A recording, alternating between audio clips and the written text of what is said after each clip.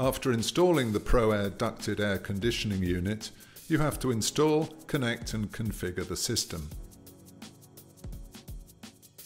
Find the electrical cabinet or switchboard and fit the Polaris 2X control unit to the DIN rail using the incorporated groove. Connect the damper motors to the output connector on the control unit. Then connect to the ducted machine and lastly connect the control unit to the power with the terminals.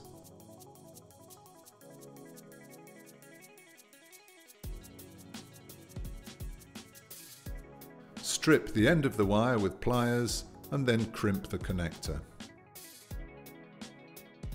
Use telephone type 8 strand wires and RJ45 connectors, remembering to ensure the correct polarity.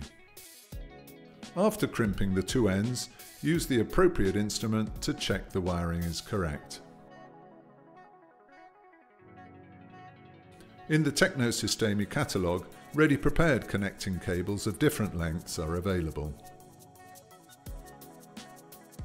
Connect up the first round damper with the input socket of the relevant motor and then with the output socket. After that, continue with the cascade connection of the other dampers which make up the system. Tidy up all the wires with cable ties.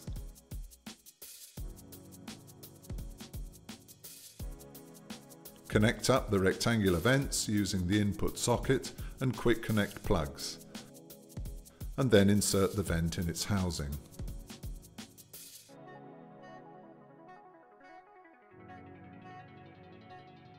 The intermittent green LED on the round dampers shows that the system is working optimally, with no anomalies.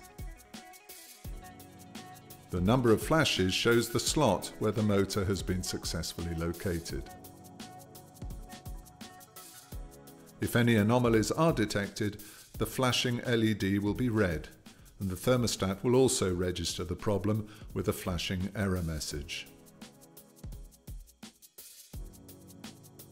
The LED, which indicates the electronic bypass, is blue. Power up the ProAir system and check that the Polaris 2X control unit has turned on correctly. It will immediately start searching for any connected motors. In this case, the system identifies four motors connected to the control unit. Now we have to check each of the four motors. Access the settings menu by pressing OK and assign, for example, the bypass to number 4, as in the video.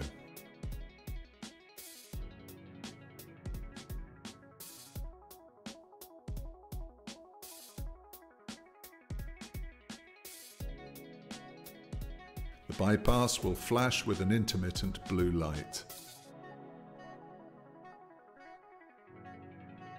Now link up each of the thermostats with the relevant damper. The Zone 1 thermostat, for example, is for a large living room, and so we will link it to two dampers, 1 and 2.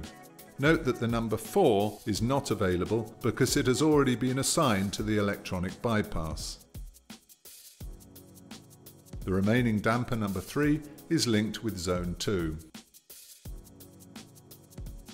Going back to the main screen, if we click ESC twice, we can see that the control unit has correctly assigned to the first thermostat the control of two dampers and to the second the control of one. Point 4 is the bypass. In order to link the thermostats to the control unit, they have to share a unique network ID which allows them to communicate with each other but not to interfere with any other ProAir systems that may be present. The Polaris 2X automatically produces the necessary ID. It can be seen in the Settings menu under Network ID Configuration. Once the network ID has been created, we have to make it visible, for the time needed, to all active thermostats. The thermostats receive a radio signal from the control unit which communicates the network ID which is then in turn shown on the large display. It is then necessary to confirm the ID on the thermostat and assign it to the zone it covers. The thermostat is now operational. The thermostat is currently registering a temperature as 13.5 degrees. The radio signal is excellent, the relevant damper is fully open, and the system is in heating mode.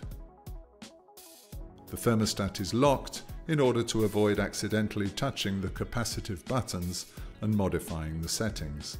The settings can be modified at any time by pushing the appropriate button to unlock the thermostat. In this way, various new data will appear, including the time, day, temperature setting, and the relative humidity expressed as a percentage. If we want to change the ambient temperature, all you have to do is press the plus or minus buttons to open the vent louvers from minimum to maximum. Following this change in the temperature setting, the thermostat will beep to confirm acceptance of the new setting. Every system comes with a master thermostat, which is recognizable from the writing on the display.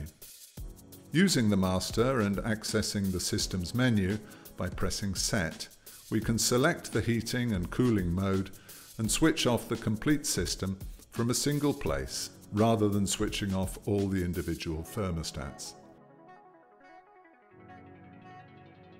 In order to set the timer, proceed as follows.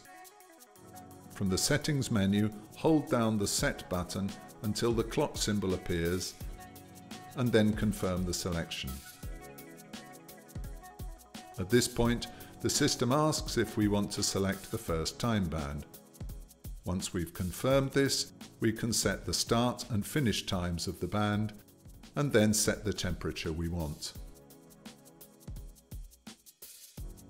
Proceed in the same way to set the other times or return to the main screen where the clock symbol will show that the timer has been correctly set up. In this case, the damper symbol will be crossed out because the current time is outside the time band. Tecnosystemi, investing in the future.